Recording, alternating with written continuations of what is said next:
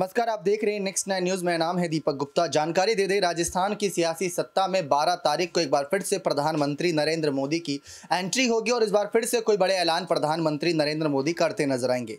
इन सब के बीच भारतीय जनता पार्टी के तमाम सांसद और विधायक इस मुहिम में जुटे हुए हैं कि ज़्यादा से ज़्यादा जनता को बटोरा जाए ताकि जनसभा एकदम दमदार लगे और शक्ति प्रदर्शन नज़र आए भारतीय जनता पार्टी का। लेकिन इन सब के बीच खबर अचानक से सामने आती है कि सचिन पायलट दिल्ली की ओर रवाना होते हैं।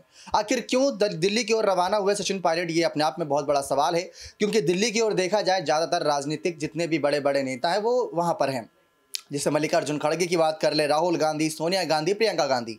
लेकिन इन सबसे मुलाकात करने नहीं, बल्कि अपने परिवार से मुलाकात करने के लिए दिल्ली की ओर रुख करते नज़र आए सचिन पायलट। जी हाँ आप भी सोच रहे होंगे कि आखिर परिवार से मुलाकात करना ऐसा क्या मुसीबत पड़ी?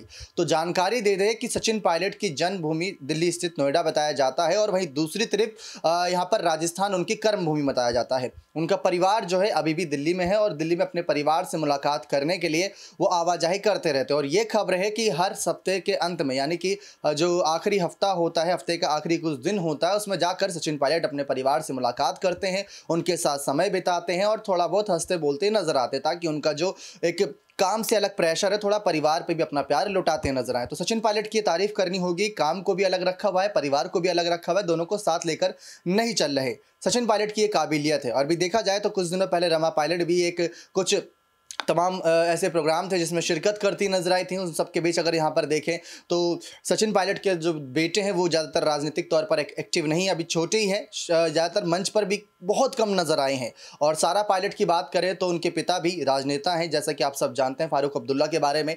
वो कहीं ना कहीं अपने आप में एक चर्चाओं का विषय है लेकिन इन सब के अलग देखा जाए तो सचिन पायलट परिवार से मुलाकात करने के लिए दिल्ली आवाजाही करते रहते हैं। लेकिन परिवार अलग पार्टी अलग और पार्टी के तमाम सदस्य अलग। परिवार को पार्टी बना रखा है मतलब कह सकते हैं जो उनकी पार्टी है, वो एक परिवार की तरह ही है, ऐसा सचिन पायलट का कहना है। और हम मिलजुल कर कांग्रेस पार्टी की सरकार रिपीट कराएँगे सचिन पायलट की लगातार मांग है। उम्मीद करते हैं जानकारी पसंद आई होगी, लेकिन अब 12 तारीख को एक बार फिर से प्रधानमंत्री नरेंद्र मोदी आ रहे हैं। वहाँ पर कोई बड़ा ऐलान करेंगे। ज़्यादा से ज़्यादा जनसंख्या यहाँ पर जो एक बटोरने की कोशिश रहेगी, जन की संख्या, यानी कि जनसभा के लिए वो अपने आप में देखना दिलचस्प रहेगा, कि क्या पायलट से ज़्यादा, जो पायलट की सोलह तारीख से, सोलह जनवरी से रैलियाँ शुरू हुई थी, उसमें जो पायलट की रैलियों में भीड़ नज़र आई थी, क्या उससे ज़्यादा भीड़ पीएम मोदी की रैलियों में नज़र आती अगर नहीं नज़र आई तो यहाँ पर सचिन पायलट की जीत होती नज़र आएगी। देखते हैं क्या कुछ होता है, और बीजेपी सांसद किरोड़ी लाल मीणा इन सब मुहिम में जुटे हुए हैं। लेकिन दिल्ली की तरफ़ क्या सिर्फ़ परिवार से मुलाकात करने गए थे या पार्टी के नेताओं से मुलाकात करने गए थे, ये देखना ही बेहद दिलचस्प रहेगा। बने रहे चैनल के साथ ऐसी और तमाम जानकारियों के लिए।